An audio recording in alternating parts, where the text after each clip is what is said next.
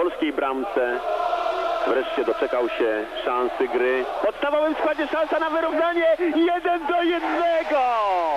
No panie Marku, gdyby w Chorzowie pokonał pan tak Shiltona, dziś ta bramka byłaby na wagę. Kto wie czy nie awansu do finałów Mistrzostw Świata.